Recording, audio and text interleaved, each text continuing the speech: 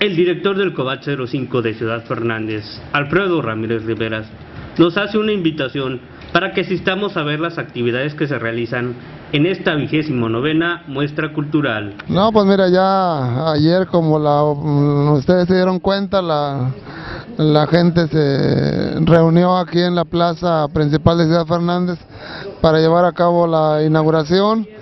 El día de ayer se, se inicia con varios eventos, ¿no? Entre ellos, pues vamos a destacar la inauguración donde hubo un promedio, yo creo que casi de 1.500 gentes o 2.000 gentes, muy concurrida. Este, posteriormente fue lo de danza mestiza donde la gente se conservó, creo que les gustó, les gustó el evento. De la misma forma se inicia con este lo que es lo que es eh, pintura, donde también concurrió mucha gente. Y bueno, qué decir de lo de música, donde el Teatro Santa Elena se llenó completamente hasta las 10 de la noche.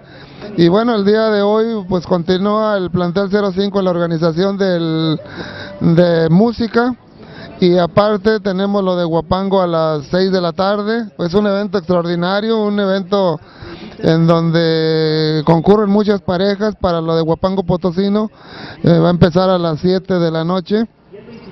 Y pues invitamos a toda la gente a que siga este, participando. El día de mañana la clausura a las 12, una del día. Eh, cerramos con danza indígena en el Teatro de la Universidad, campus de aquí San Luis Potosí, Río Verde, y este, pues creemos que todo va a ser todo un éxito.